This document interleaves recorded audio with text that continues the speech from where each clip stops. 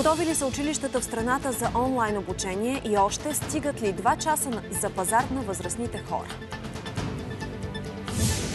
Туризъм по време на пандемия. Ще има ли промяна във вечерния час за заведенията около празниците? Не може да говорим обаче за добър сезон, но ще имаме сезон. Имало ли е злоупотреби на изборите в Съединените щати и ще признае ли Доналд Тръмп загубата си от Джо Байден в битката за президент?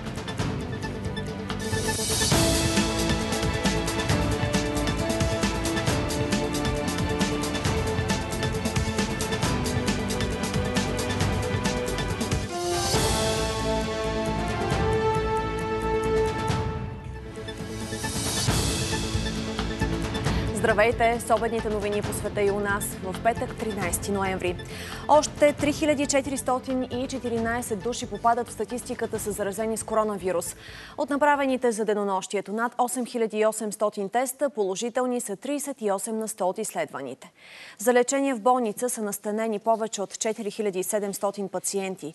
Преборилите щама са над 870, а в печалната статистика са добавени още 72 души. Все още няма решение на национално ниво всички ученици да преминат към онлайн обучение.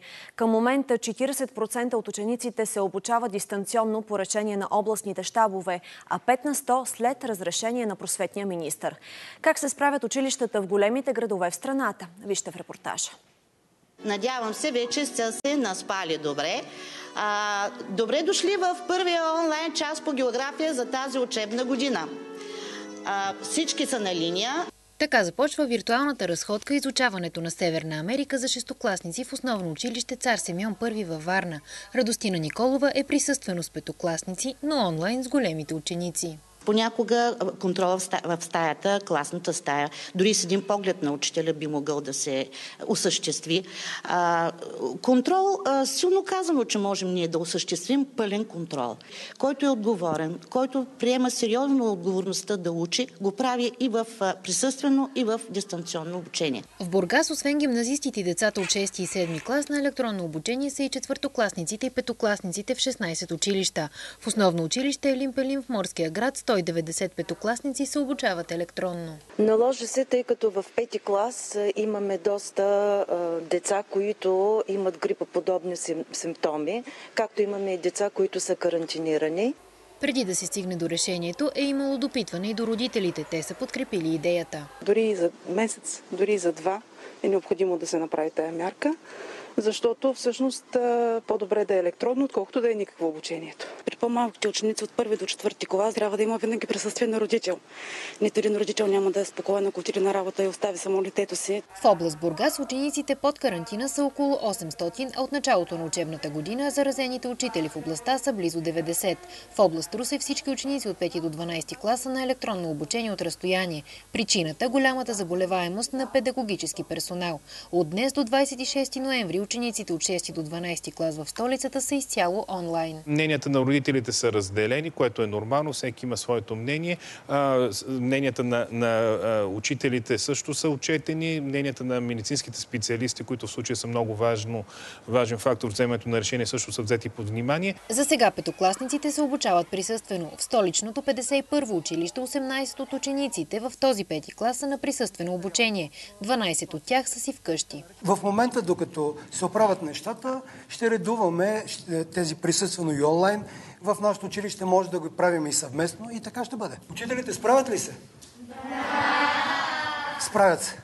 От днес в столицата родителите по своя преценка ще решават дали да пращат децата си в детските градини и яслите. Все по-тежка става ситуацията в Общинската болница в Свищов. На фона на нарастването на пациентите с коронавирус, медицинският персонал не достига. Единствената медицинска сестра, която близо месец се грижеше за хората в COVID-отделението, също е болна и в момента е прията там като пациент. Повече от 20 дни сестра Македонска се грижи сама за пациентите в COVID-отделението на болницата в Свищов. В началото на седмицата обаче се оказва, че и тя е заразена и е приета в отделението като пациент. Доста ни притесняваше нейното състояние. Все пак тя беше се отдадена толкова дни. Имаше момент, в който така беше спанал в критично състояние, но за момента, слава на Богу, тя или по-стабилна. В момента капацитета на COVID-отделението е запълнен. От ръководството на болницата имат готовност за разкриване на още легла, но нуждата от лекари и медицински специалисти става все по-голяма.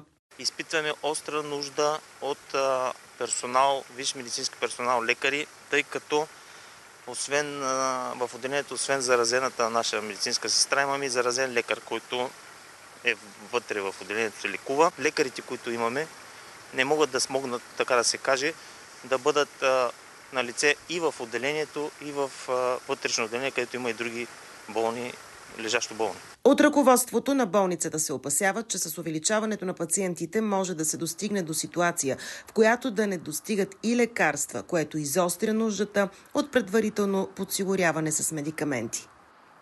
Масово хората над 65 годишна възраст искат още един коридор за пазаруване, освен този между 8 и 10 сутринта, определен от Здравното министерство, или сегашния да се измести към обяд. Доводите много е рано, отрязъкът е малък, пенсионерите са трудно подвижни, а някои магазини дори не са отворени по това време. Елияна Димитрова с подробностите. 8 часа сутринта. Пазарът в Младост едно е пуст, малките магазинчета около него затворени. Раздвижването започва малко преди 9. Един час за пенсионерите е пропуснат. Малките магазинчета работят от 9. И понякога времето един час е много малко. Няма кой да идва в 7.30 или 8. И те седим и мръзнем до 7 вечерта, отваря се по-късно. Наблизо има магазин на голяма верига, където се насочват и пенсионерите. Масово те са недоволни от прозореца за пазаруване между 8 и 10. Не ми се става да върва по студеното и по мъглата.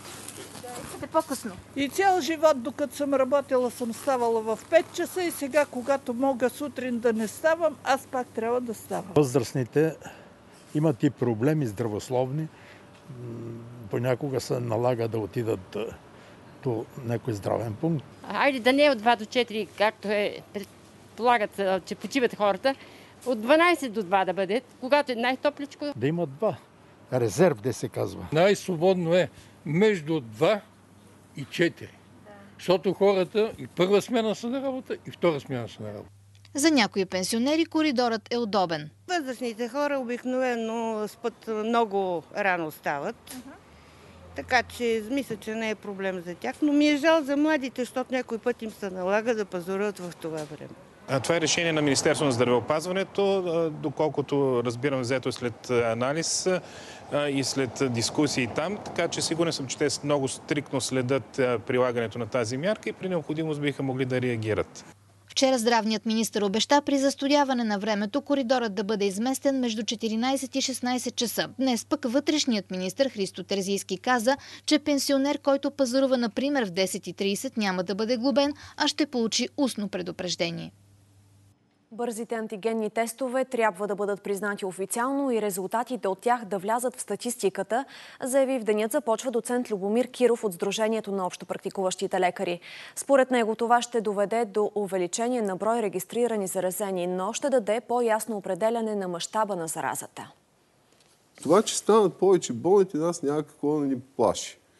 Е, ще има по-голям натиск върху системата на НОИ, тъй като ще има повече болнични, макар че те едва ли ще са повече, тъй като хората, които не се тестуват, но са с оплаквания, ние пак трябва да ги оставим в къщи, само че диагнозата е различна, не е COVID, а е друго вирусно заболяване или нещо подобно.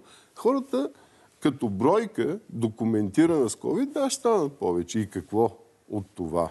Да, но когато ние ги обхванем бързо, те биват по-бързо ограничени и прекратяваме процеса на разпространение на инфектирането. Държавата и туристическият бранш трябва да обединят усилия, за да могат да се справят с економическата криза. Зимен туристически сезон ще има, това каза в денят започва вице-премьерът Марияна Николова, която от седмица провежда срещи с хотелиери и ресторантьори в зимните ни курорти.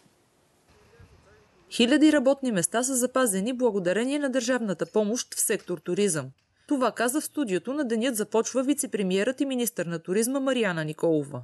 Благодарение на мярката 60 на 40, която за нашия бранш е 80 на 20 с допълнителните 290 лева, които даваме, ние сме запазили над 30 000 работни места, т.е. над 30 000 души получават доходи в момента и всъщност са, са заети. В навечерието на новия зимен сезон много от хотелиерите и ресторантьорите в Банско обаче са заплашени от фалити. За да оцелеят, местните сдружения търсят начини за допълнително финансиране извън държавната помощ. Изпитваме сериозен финансов дефицит. Повечето от бизнесите са на ръба на оцеляването си.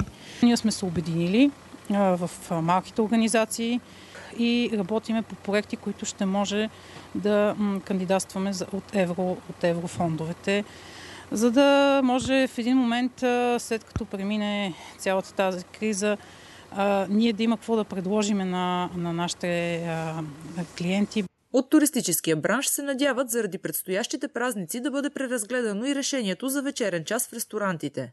Ще се съобразиме с бройките, които са допустими, капацитетите, които може да послужи едно заведение, всякакви работно време, дистанции. Ние следим ежедневно ситуацията, виждаме каква е обстановката и в случай, че имаме по-добри показатели, ние бихме могли да, да говорим за преразглеждане на такъв тип час по време на коледните и новогодишните празници. В момента се разглеждат заявления за предоставяне на държавна помощ за туроператорите. Очаква се средства да получат и екскурзоводите, каза още министър Николова. Премьерът Борисов с пост във Фейсбук, позовавайки се на данни на Евростат за септември, министър-председателя пише, че Европа и светът са в криза, а българското производство расте.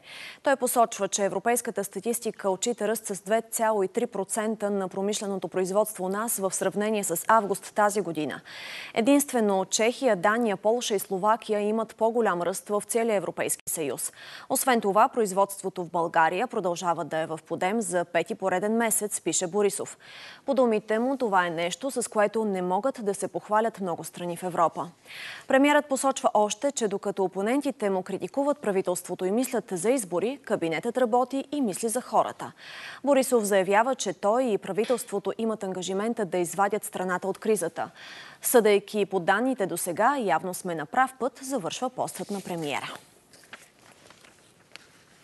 Няколко европейски лидери призоваха гражданите си да не бързат с планирането на празничните пътувания. Ситуацията с COVID-19 на Стария континент остава сериозна. Броят на заразените расте, въвеждат се и нови ограничения. Какви и къде? Вижте в репортажа на Джанан Дорал. Словения въвежда строги ограничения, които ще въжат най-малко две седмици.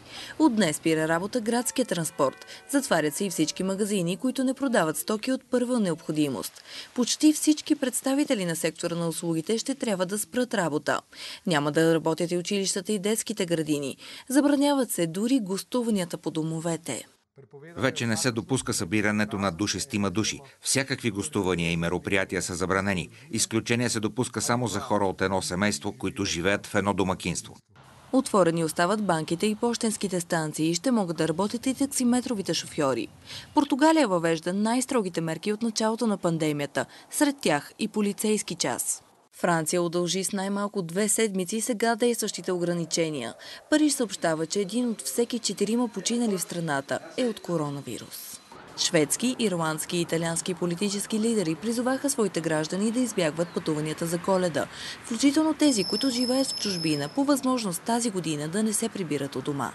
А в Съединените щати рекорден брой на потвърдените случаи за едно денонощие – 144 000 души, с което общо заразените в страната надхвърлиха 10 милиона и 500 хиляди.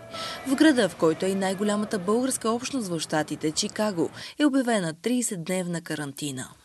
Трябва да предприемем спешни мерки, за да опазим здравето на своите граждани. В противен случай до края на годината може да починат най-малко хиляда души. Съединените щати продължават да са най-тежко засегнатата от пандемията държава. Оттам са и 20% от случаите в световен мащаб. Скандали в парламента заради промените в закона за личната помощ, прияти с гласовете на мнозинството. От БСП обвиниха управляващите, че с поправките лишават нуждаещите се от асистентска помощ. По искане на левицата в Народното събрание дойде и вице-премьерът Каракачанов, за да даде информация по преговорите с Република Северна Македония по спорните въпроси. Подробностите следват от репортера ни Николай Минков. Сега добър ден. Добър ден, точно така, Юля. Още в самото начало на пленарния ден управляващи опозиция се скараха, след като мнозинството отхвърли предложението на БСП да бъдат изтеглени поправките в закона за личната помощ, от които левицата коментира, че са дискриминационни и лишават от асистентска помощ около 670 хиляди българи, които са с различна форма на увреждане. Социалистите обвиниха още правителството, че с внесените промени те вкарват часова ставка за личният асистент. В същото време нуждаещите с 24 часа 7 дни в седмицата. Освен това, според БСП се намаляват и възнагражденията за асистентите. От ГЕРБ не се съгласиха с левицата и предложиха цифри, а именно през тази година за лични асистенти сумата е била сумарно 94 милиона, а през следващата тя нараства на 214. Вижте още от дебатите. Когато определяте, че максималната ставка, която държавата може да плати за лична помощ на един човек е 168 часа месечно, което значи по 8 часа на ден само в работни дни, вие всъщност усъкътявате хора. Извинете, искам да ви питам през празниците кой сменя памперсите? Кой ги дига тия хора, за да отидат от туалетата? Кой ги слага на инвалидната количка? Това изказване е абсолютно неточно и целенасочено манипулативно. Промените в Закона за личната помощ целят запазване на, на часовата месечна ставка за личните асистенти. На следващо място, за следващата година парите за личната, за личната помощ се увеличават двойно. Дебатите по промените в Закона за личната помощ протекоха на фона на протест от страна на майките от системата ни убива пред Народното събрание. Крайна сметка с 91 гласа за на мнозинството срещу 41 на опозицията промените в закона бяха приети. Малко по-късно тук в Народното събрание пристигна и вице-премьера Красмир Каракачанов, който даде повече яснота около протеклите в началото на седмицата преговори с ръководството на Северна Македония в лицето на премиера Зоран Заев и министри от неговия кабинет. Предлагам да видим и чуем. Без да се преодолее говора на омразата, без да има ясна ревизия на образователната система, която е изградена на неверни факти и създаване на омраза към българския народ, без преодоляване на въпросите, които от страна на Скопие са, про... са въпрос на исторически спорове и отричане, говоря за исторически личности и събития, няма как България да има друга позиция, освен тази, която е заявила, а именно, че няма да даде съгласие за насрочване на първата междуправителствена конференция за започване на преговори с Република Македония. Работата на Народното събрание продължава с парламентарен контрол. На депутатски питане ще отговарят финансова министър Ананев, социалния Сачева, на образованието Вълчев, на регионалното, на регионалното министерство и други. Благодаря Николай Минков с новините от парламента. Полша заплашва да наложи вето на бюджета на Европейския съюз за периода 2021 до 2027 година, ако в многогодишната финансова рамка бъде включено условието достъпът до еврофондове да е обвързан с върховенството на закона. Подобна закана беше отправена към Брюксел и от Унгария. Премиерите на двете държави, Матеош Моравецки и Виктор Орбан, са изпратили писма до председателя на Европейската комисия Урсула фон дер Лайен, както и на останалите европейски институции. Варшава и Будапешта са обект обект на критики от страна на Евросъюза заради подкопаване на независимостта на съдебната система и медиите. Ако отпускането на фондовете бъде обвързано с върховенството на закона, Полша и Унгария може да не получат средства в размер на милиарди евро. И към новините от Съединените щати Джо Байден печели Аризона, щат, който на предишните избори подкрепи републиканеца Доналд Тръмп. Така демократът вече има 290 гласа в електоралната колегия срещу 217 за действащия президент. Пет дни след като беше обявено, че Джо Байден печели изборите, Доналд Тръмп все още не е признал резултатите. Преди час китайския президент Си Цзинпин стана поредния световен лидер, поздравил Байден за победата. Аризона е поредният щат, който при 99% преброени бюлетини е спечелен от Джо Байден. Избраният за президент на Съединените щати вече назначи началник на кабинета си, а с вице-президента му Камала Харис одобриха план за овладяване на пандемията от COVID-19. Байден и Харис трябва да встъпят в длъжност през януари, но действащия президент Тръмп и част от сподвижниците му продължават да отричат победата на демократа. Твърди се, че 2 милиона и 700 хиляди гласа за републиканеца са били изтрити от системата. Тази нощ Тръмп написа в Туитър, че измами е имал в 28 щата, но не подплати думите си с доказателства. Служители на щатските и федерални избирателни комисии съобщиха, че няма открити измами и манипулации на изборния процес. След направена проверка не са установени нарушения при провеждането на вота, нито са открити доказателства, че някоя система за гласуване е загубила или изтрила гласове. От щаба на Доналд Тръмп твърдят, че подадени за републиканската партия бюлетини са били отчитани като такива за демократите. В интервю за предаването 60 минути на CBS, Барак Обама също коментира темата за обвинения от страна на републиканците. Очевидно са много мотивирани, отчасти защото президента не обича да губи и никога не признава загубата. По-притеснително е това, че членове на Републиканската партия, които имат много по-ясна представа за ситуацията, го подкрепят и застават за твърденията му. Това опоручава не просто предстоящата администрация на Байден, но демокрацията като цяло, а това е много опасно. Все повече хора от Републиканската партия призовава Доналд Тръмп да признае резултатите от изборите. Близо 20 конгресмени от партията на президента заявиха, че Джо Байден трябва да получи достъп до класифицирани документи, които обикновено се предоставят на избрания за президент в рамките на прехода между две администрации.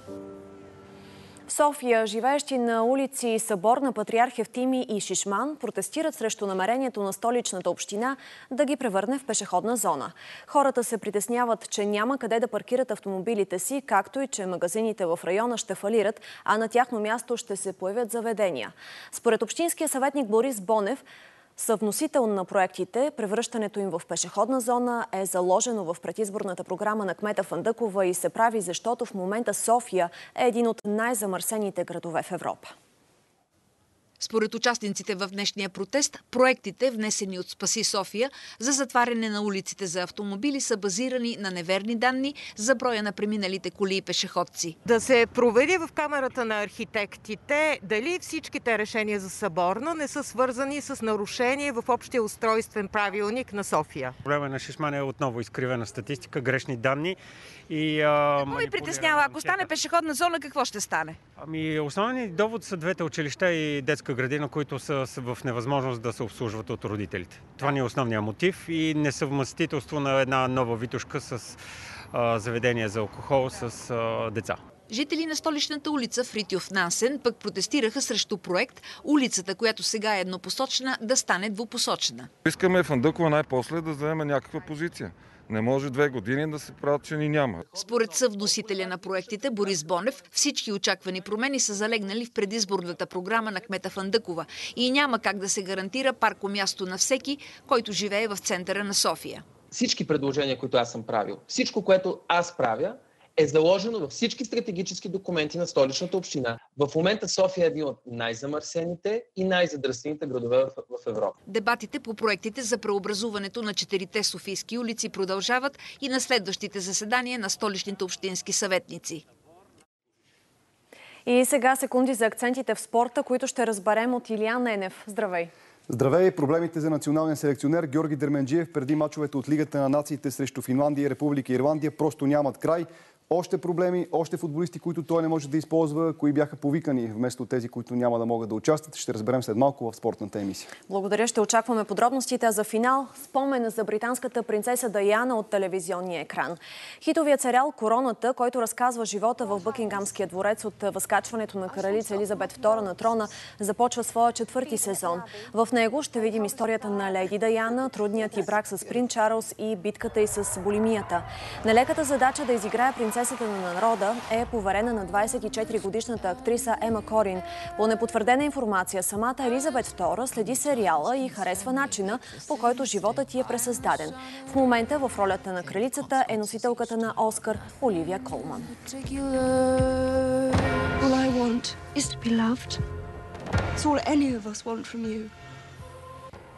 С това се разделяме. Още новини ще откриете на сайта на БНТ. От екипа ни приятен и хубав ден. Довиждане!